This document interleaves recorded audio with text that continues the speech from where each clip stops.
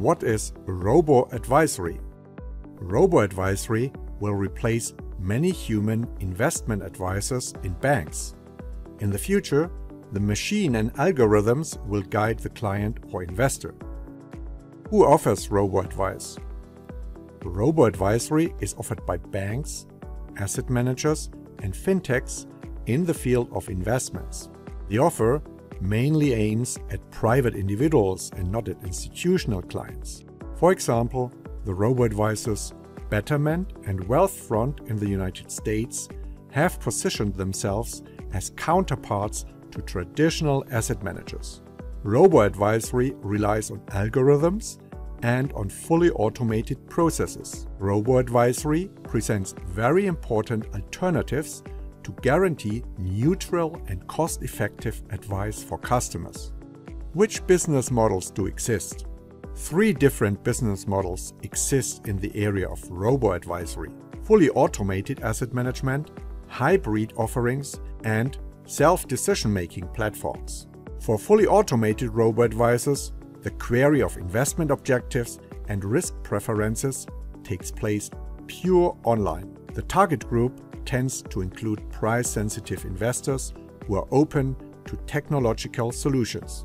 The product focus is on cost-effective exchange-traded funds, short ETFs, to decrease relative administrative costs for the customer of robo-advisors. Some asset managers take a market position between traditional investment advisory and fully automated online offers. This would be a hybrid solution. The investment strategy can be determined in consultation with the advisor or automatically on the website. The advisor-assisted digital business model links the digital platform with telephone consultation.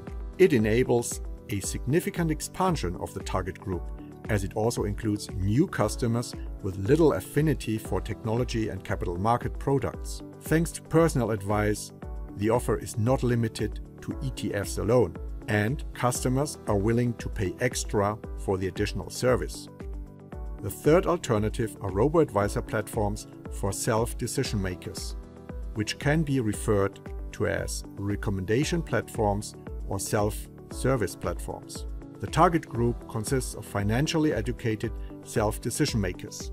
The investors receive structured and systematic support for their investment decision.